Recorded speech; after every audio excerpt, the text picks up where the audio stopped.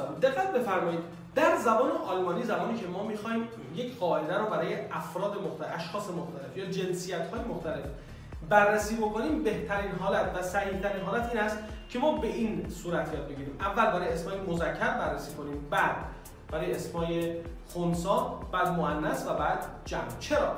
چون به طور کلی در زبان آلمانی دوستان خصوصیت اسمهای مذکر و خونسا به هم شبیه تره و اسمای مؤنث و جمع هم به هم شبیه تره در اینجا می‌خوام بررسی کنیم که صفت در زبان آلمانی چطور بیان میشه. خب خوب دقت کنید دوستان. صفت در زبان آلمانی قبل از اسم قرار می‌گیره. اول برای یک اسم مذکر می‌خوایم بررسی کنیم. می‌خوام بگیم یک مرد خوب. خب بگیم ein gut Mann اما دوستان ما زمانی که صفت رو قبل از اسم قرار میدیم باید علامت آرتیکل رو علامت جنسیت رو که برای اسمهای مذکر اغ هست. به صفت اضافه کنیم.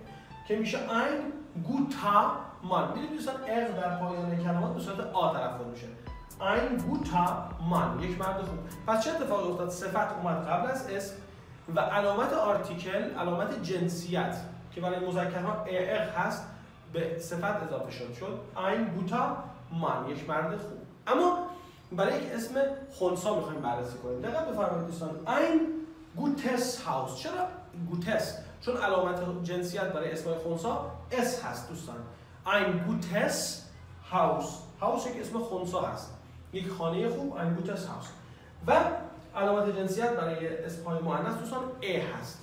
Eine gute Frau. Frau یعنی زن. Frau. Eine gute Frau. یعنی یک زن خوب. به این صورت دوستان. پس باید حواسمون باشه که صفت رو وقتی استفاده می‌کنیم جنسیت اسم چی هست؟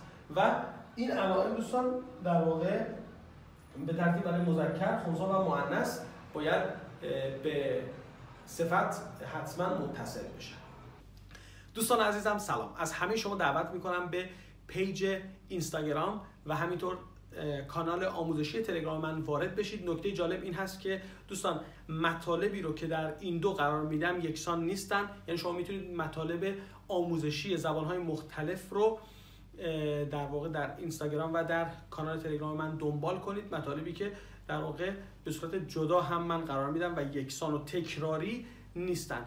اما عنوان هر دو اینها یکیه. یعنی هم اینستاگرام و هم تلگرام من.